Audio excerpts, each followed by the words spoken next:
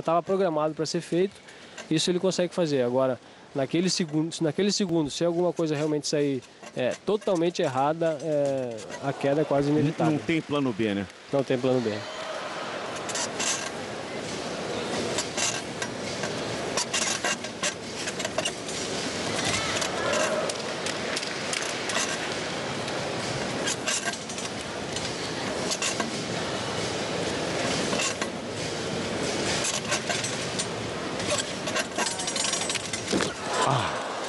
Que pena.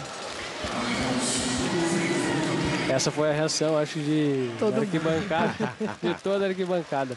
Porque a série dele realmente envolve, né? É um dos melhores aparelhos do, do Josimar. Ele, jogos pan-americanos, é um atleta muito novo. E uma das, das, das promessas, não, já, já é realidade, né? Mas uma das, das novidades, ou da, dos, do, dos melhores atletas que a Colômbia tem hoje, atualmente. Tem alguns esportes, como é o caso da ginástica artística, que não dá para torcer contra. Não.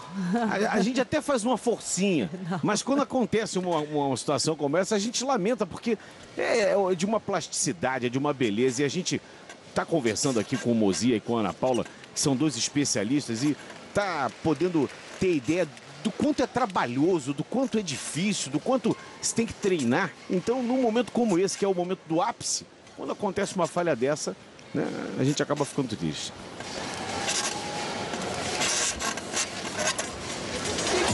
Ai, Outra vez caiu o colombiano, acho que agora ele vai dar adeus à barra, né?